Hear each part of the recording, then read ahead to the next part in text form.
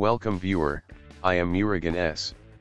This video tutorial describes, fix power button and lid actions are not available on Windows 10. Type power options in Windows search bar.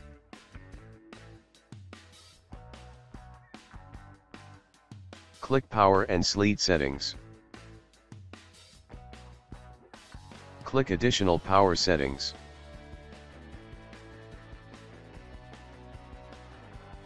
Click Change Plan Settings. Click Change Advanced Power Settings.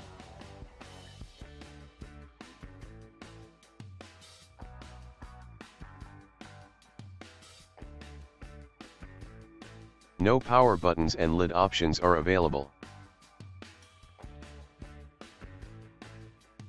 Type CMD in Windows search bar.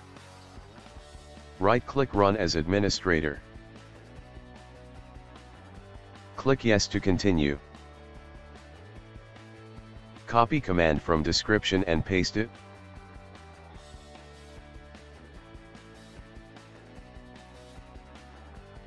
Type exit exit from command prompt. Type power options in Windows search bar. Click power and sleep settings. Click additional power settings. Click Change Plan Settings. Click Change Advanced Power Settings.